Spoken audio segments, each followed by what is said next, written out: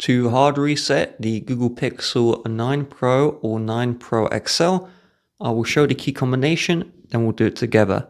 So we'll first press and hold power and volume up for 10 seconds, then we will release.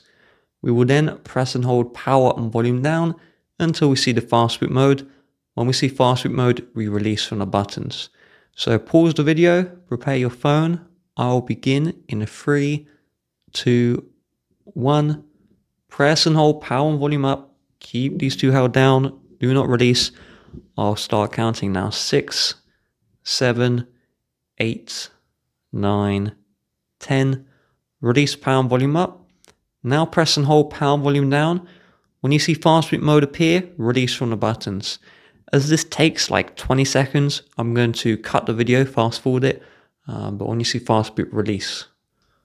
Okay, so I saw fast boot and I release. If the screen went black again, just release from the buttons, then press hold pound volume down again, and it'll bring you back here. So what we need to now do is click volume down, click it again until we see that recovery mode, and then we'll click the power button to enter recovery mode. Then we will see the no command. And so the command we need to enter is while holding the power button, click and release volume up. In recovery mode, the touchscreen doesn't work. So we're going to click and release volume down and keep on doing this until you see that wipe data option and then click the power button to select.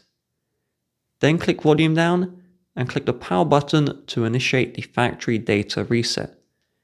It will then bring you back to this screen, click reboot system now, and now the hard reset will fully initiate on the Google Pixel 9 Pro.